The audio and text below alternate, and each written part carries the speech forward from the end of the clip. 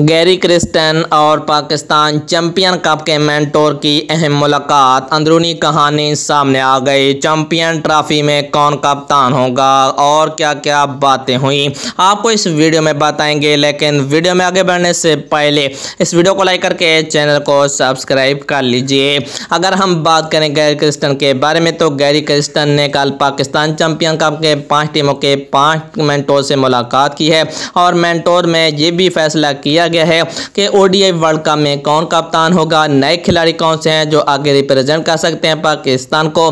इस पर बात हुई है। पैंथर टीम के मैंटोर सकलैन मुश्ताक ने कहा है कि मुबसर खान ऐसे खिलाड़ी हैं जो ऑफ़ स्पिनर है, पाकिस्तान को आगे रिप्रेजेंट कर सकते हैं। यह पाकिस्तान के पास ऑफ़ स्पिनर काफ़ी कम है, लेग स्पिनर ज़्यादा हैं जैसे सकलैन मुश्ताक ने कहा है कि शादाब खान लेग स्पिनर है, मोहम्मद नवाज़ लेग स्पिनर है और इमाद वसीम भी लेग स्पिनर है। इसलिए मुबसर खान जो ऑफ़ स्पिनर है, पाकिस्तान को आगे रिप्रेजेंट कर सकते हैं। जबकि सेटेलियन टीम के शोएब मलिक ने कहा है कि जहाँ दाद खान ऐसे खिलाड़ी हैं जो आगे रिप्रेजेंट कर सकते हैं, ऑलराउंडर हैं, वो फास्ट ऑलराउंडर हैं, जिस तरह अब्दुल रजाक ऑलराउंडर थे वो पाकिस्तान टीम को काफ़ी फ़ायदा पहुँचा सकते हैं। जबकि मारखोर के मेंटोर मिसबाउल हक ने आकिफ जावेद का नाम लिया है कि वो नई गेंद से बेहतरीन स्विंग करते हैं। इसलिए आकिफ जावेद आगे रिप्रेजेंट कर सकते हैं, बेहतरीन फास्ट बॉलर हैं। अगर हम बात करें ओडीए कप्तान के बारे में कि ओडीए कप्तान के बारे में क्या मीटिंग हुई है, मेंटोर ने क्या कहा है तो मैं आपको बताता चाहूँ कि सरफराज अहमद, जो कि डॉल्फिन के मेंटोर हैं, और लायन के मेंटोर वकास यूनस ने कहा है कि बाबर आज़म को कप्तान चैंपियन ट्रॉफी 2025 तक रहने दिया जाए।